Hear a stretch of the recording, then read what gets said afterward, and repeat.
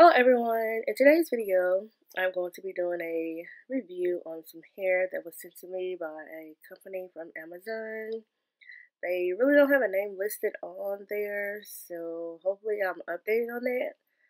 I can post it in the description box. I think it's like a new store, but they reached out to me and asked me to do a review. This hair is very silky. It reminds me of some hair I used to use like in the early 2000s. The ends of it is very bouncy, very curly. It's a very silky texture. Um, so honestly, for my hair, it was kind of, you know, hard to put it on because my hair is slick and this hair is slick. So you'll see how I'm going to install it for it to be successful for me. But if your hair is a little bit on the more textured side, excuse me, you are not going to have trouble. I enjoyed the end and look of it, and you can definitely crochet it on if you want to.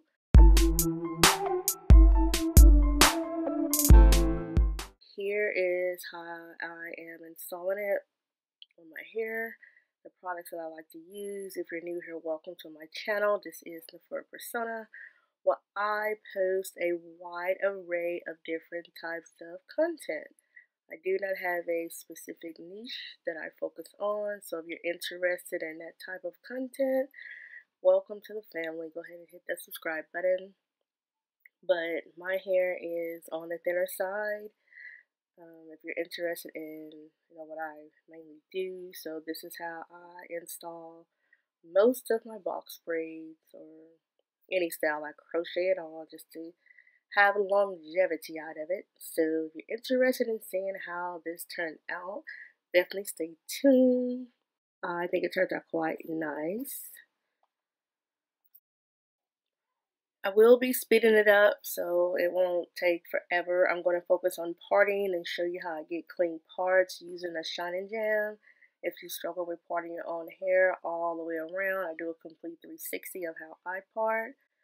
So I hope that helps you if you've been kind of researching how to do it on hair that's not as thick, less dense. I am somewhat feeding the hair into the braid as well. I have a more detailed video on this if you're interested. It's the purple knotless braids that I did crochet style. I'm not really going for knotless on here. I'm going for more of anti-slip on it and uh, longevity of the style. So that's why I'm doing it this way. So stay tuned and enjoy and watch to the end. See you guys in the next one. Peace out. Bye.